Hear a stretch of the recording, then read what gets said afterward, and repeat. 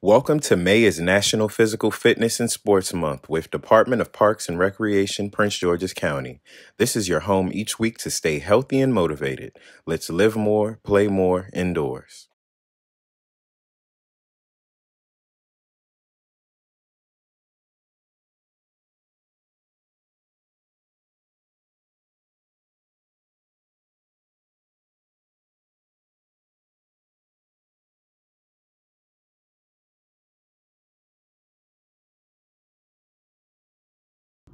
Hi, I'm Tisha and today we're learning about setting goals. We'll learn about the different goals and how to set them, goal setting guidelines and common problems, and different goal setting formulas. Before we jump into everything, we have to understand the definition of goals. A goal is an objective or an accomplishment that you're trying to reach within a time limit. A long-term goals are goals that you set for the future. Short-term goals are stepping blocks that you use to reach your long-term goal. And short-term goals can stand alone, just in a shorter time frame. A performance goals are goals where you're competing against your past self or your past performance. Process goals are the steps that you take when you're engaging in your performance goals. And outcome goals represent the standards of performance that focus on the result. Here are 10 important guidelines that you have to follow when setting goals. Set specific goals in measurable and behavioral terms. Set moderately difficult but realistic goals. Set short-term goals and long-term goals. Set process goals, performance goals, and outcome goals. Set goals for work, performance, presentations, fitness, athletics, anything you need to set a goal for. Set positive goals as opposed to negative goals. Identify target dates for attaining goals. Identify ways to achieve your goals. Record your goals once you have identified them. Ask for feedback and support on your goals. Now, here are five common problems that people usually have when setting goals. Number one, setting too many goals. Number two, failing to recognize the individual differences when it comes to your goals. Number three, setting goals that are too general. Number four, failing to set performance and process goals. And number five, failing to create a supportive atmosphere. Before we get into talking about the different ways you can set goals, we're going to briefly go over the benefits and the three phases of goal settings. The benefits of goal setting is increased performance, increased positive thoughts, and increased confidence. The three phases of goal setting include number one, the setting phase.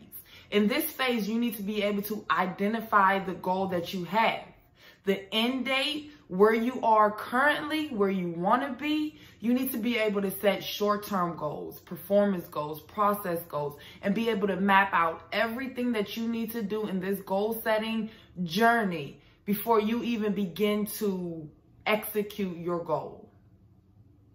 Phase number two, the execution phase. When executing your goal, you want to keep it somewhere where you can see it. Whether you hang it up on your mirror, whether it's in your locker, on your desk, in your phone, wherever you have it, you need to be able to go back to it, review it, see what you need to do the next day, see what you've already done, see how far you come, and continue to execute that goal. And phase number three, the evaluation phase. In this phase, you need to be able to evaluate your goals. You need to be able to see what you did well, what you need to do better. Whether you've actually hit your goal or not, you need to see and determine everything about your goal. Did you get enough help? Did you have enough support? Did you go and speak to someone when you didn't understand the next phase or what did you need to do to continue to hit your goal? The evaluation phase is all about reflecting and evaluating your goals. Now, getting into goal setting strategies and different ways to set goals, you can simply just write your goal down on paper. You know, your long-term goal, a date, and all the steps that you need to take in order to reach that long-term goal. Or if you're more of a visual learner or, you know, you want to be a little more creative with your goals, you can use a goal staircase. This goal staircase looks just like a regular staircase that you will walk up on. The first step, you will record your present ability, where you are now. At the very top of this staircase, you will record your long-term goal. Don't forget to include the end date. Now, on the steps between your present ability, the first step, and your long-term goal, the last step, you are going to record your short-term goals. Your short-term goals should also have end dates so that you're staying close and staying within the range of your long-term goal end date.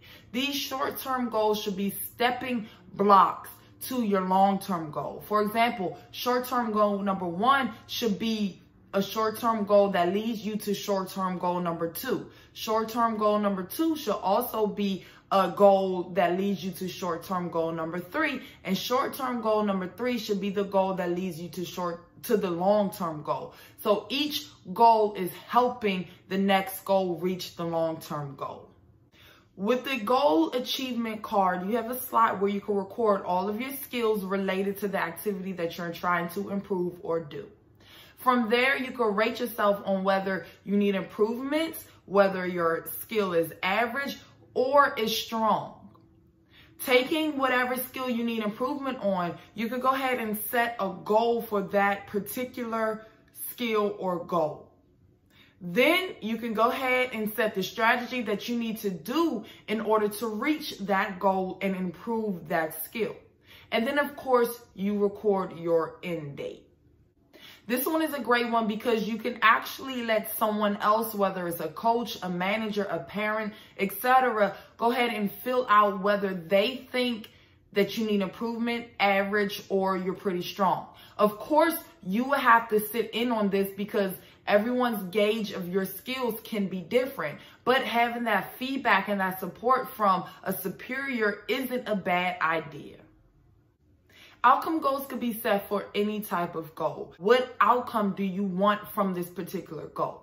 So if your outcome is to get better to beat your opponent or get better to take someone's starting position or get better to win the promotion at work, then that is the outcome that you are trying to achieve. Now with performance goals, again, performance goals are competing against your past performance. So if last week you ran a mile in nine minutes, but this week your performance goal would be to beat that nine minute mile and run the goal, run your mile in, let's say, seven minutes and 30 seconds. That is your performance goal because you're trying to beat your last performance. Now, your process goals related to your performance goal can be something like keep your arms up when you're running. You know, when you get tired, your arms might drop. And we know that if your arms stop or your arms slow down, so will your legs. Okay. It could be a process goal could be to remember to breathe. Sometimes when we're exercising or trying to hit our fitness goals, we tend to hold our breath. Okay, remembering to breathe so that you can get oxygen in and out could be a process goal. And another process goal could be to focus on the positives, focus on the finish line. Sometimes we get so wrapped up in the pain that we're feeling or the exhaustion that we're feeling that those negative feelings can slow us down or stop us from ultimately paying attention to the positive and the finish line. Thank you all for spending time with me as I teach you all about setting goals. Please take a moment to look at the pictures that follows so that you can get a visual of the goal staircase and the goal achievement card. Thank you.